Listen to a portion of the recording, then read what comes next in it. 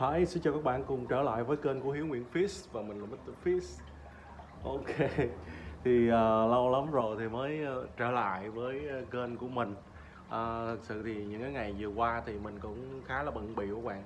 Đang uh, chuẩn bị hết công suất cho cái uh, chương trình chuyến xe mùa xuân năm 2024 Để uh, đưa công nhân uh, về quê ăn Tết. Uh, Đây là cái chương trình là có, có thể nói là chào xuân rất là quan trọng và cũng rất là đỉnh của uh, trung tâm của mình. Đó thì thì uh, chương trình sẽ phát khoảng ờ, 1.500 vé uh, miễn phí cho người lao động về quê ăn Tết các tỉnh miền Trung. Đó, thì, thì uh, các khâu tổ chức về quà tặng nè phát vé đăng ký tổng hợp hồ sơ đó, thì uh, cũng rất là nhiều việc cho nên là uh, râu hôm nay chưa cạo luôn. Đó, thì cũng rất là là là, là nhiều việc cho nên là là cũng không có thời gian để chúng ta up uh, clip mới cũng như là ờ, giải đáp những cái thắc mắc dành cho anh em. Thì hôm nay thì cũng tranh thủ cái giờ nghỉ trưa đó thì thì thì mình cũng chia sẻ một chút xíu uh, về một cái nội dung cũng khá quan trọng mà rất là nhiều anh em lúc nào cũng nhắn tin cho mình á mà lâu lắm rồi mình không có làm. Thì hôm nay thì mình sẽ vào nha. Let's go. Ok các bạn thì có cái nội dung muôn thuở mà anh em hay lên hỏi mình á. Ờ, khi mà mình ờ, đăng clip chia sẻ à, về cá cá cảnh đó các bạn thì à, nhiều anh em hỏi mình đó là à cái con cá này nuôi có cần oxy không? À, cá này nuôi có cần máy lọc không? À, thì cái cái vấn đề mà máy lọc thì mình sẽ nói sau hôm nay thì mình sẽ vào cái chủ đề là nuôi cá có cần oxy không? Và cái cái tầm quan trọng của oxy cũng như là cái cách tạo ra oxy trong hồ cá của chúng ta ha các bạn ha. Ok rồi đầu tiên thì mình cũng chia sẻ các bạn là bất cứ một cái con gì à, thì nó cũng cần oxy để sinh sống các bạn ha. Và cá của chúng ta thì ờ, nó cũng là như vậy ha các bạn. Và oxy cũng đánh làm cái vai trò rất là quan trọng trong cuộc sống của cá. Thì nếu mà không có oxy thì cá nó sẽ không thể sống được các bạn ha. Đó. À, cho nên á cho nên là khi mà chúng ta nuôi cá thì chúng ta phải rất là quan trọng về cái vấn đề oxy. Đó thì à, và cái ờ, câu hỏi mà thường câu hỏi này á mà thường mà trả lời cho các bạn là mình đang hiểu là các bạn có cần sụp oxy hay không. À, thì ờ, trước tiên thì nói về cái vấn đề đó thì mình sẽ chia sẻ cho các bạn là cái oxy ở trong nước. À, thì uh, chia sẻ các bạn là trong không khí của mình á thì là nó có rất là nhiều nguyên tử không khí và trong đó thì có oxy. Thì con người của chúng ta cũng hít thở cái đó và chúng ta lọc lại và chúng ta sử dụng. Thì đối với con cá cũng vậy các bạn đó thì con cá thì à, um, nó có một cái lượng oxy ở trong không khí nè và cái lượng oxy ở trong nước. Đó thì uh, làm sao để có oxy trong nước các bạn? À, làm sao để có oxy trong nước thì uh, oxy á, thì thường là nó nhờ cái dao động của mặt nước nè các bạn dao động này nè. Đó thì nó sẽ hòa tan vào trong nước. Đó cái lượng không khí nó sẽ hòa tan vào trong nước. Ở, ở ngoài thì những cái gió nè tạo cuộn sóng nè tạo dao động mặt nước nè. Đó giống như cái này là của mình nè.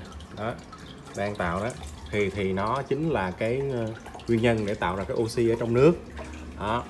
Ngoài ra thì ờ, nhiều bạn không có cái cái cái cái cái nước này chúng ta sử dụng hồ nó êm á hồ công nghệ đồ này kia đó thì chúng ta phải có một cái sụp oxy. À, cái sủi oxy á à, sủi oxy ở trong hồ hoặc là chúng ta để trong hộp lọc à, để tạo oxy à, hòa tan ở trong cái hồ này.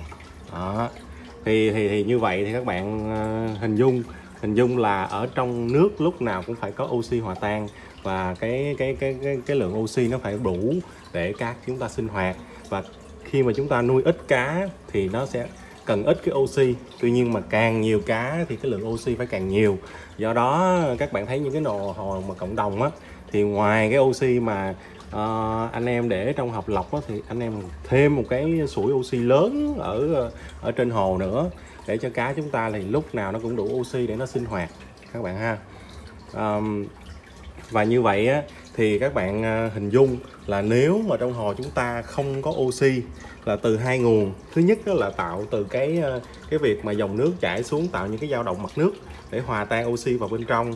Và cái nguồn thứ hai là từ cái máy sủi oxy đó, thì cá của chúng ta sẽ rất là khó để nó có thể là phát triển mạnh khỏe và cũng rất là dễ bị sinh bệnh luôn. Đó. và một cái trường hợp thứ hai nữa là khi mà không có oxy các bạn thì à, những cái vi sinh này ở ở trong hồ nó cũng sẽ không thể phát triển.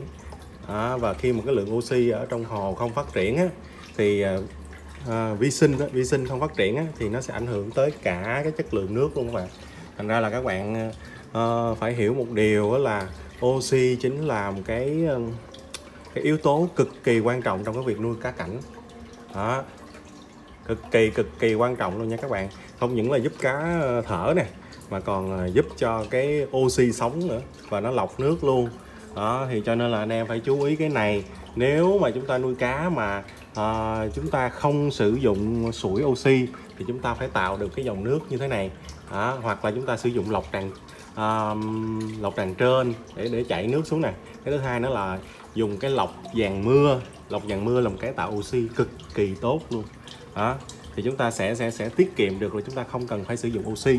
À, không cần sử dụng sủi oxy. Tuy nhiên á tuy nhiên là nếu chúng ta nuôi số lượng cá đông các bạn ha thì khuyến khích là các bạn nên sử dụng cái sủi oxy.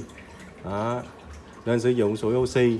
Và khi mà đã sử dụng sủi oxy rồi ấy, thì cũng nên là chúng ta uh, xài một cái sủi tích điện. Đó tại vì hào hồ cá cộng đồng các bạn nó cần rất là nhiều oxy nha. Còn cái hồ cá mà nó ít ít ít ít, ít thì nó, nó nó cũng không đến nổi. Đó để khi mà cúp điện các bạn thì ngoài cái việc là oxy nó nó nó nó giúp cho cá ờ, quan hợp mà nó còn giúp cho ờ, giúp cho cá hô hấp mà còn giúp cho cái hồ của chúng ta nó vi sinh nó sống và nó nó xử lý chất thải ở trong này. Đó. Đó còn anh em nào muốn tiết kiệm thì nữa sử dụng cái lọc tràn trên để nó tạo ra cái oxy. Và cái thứ hai nữa chúng ta sử dụng cái máy bơm mà có tích hợp uh, thổi tạo oxy thổi luồng á. Đó, tạo oxy á. Thì thì thì thì thì nó sẽ chúng ta sẽ giảm được cái cái cái là chúng ta khỏi phải sử dụng cái sủi oxy. Các bạn ha.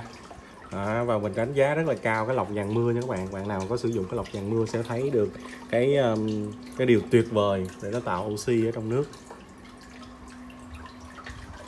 rồi ok đơn giản vậy thôi.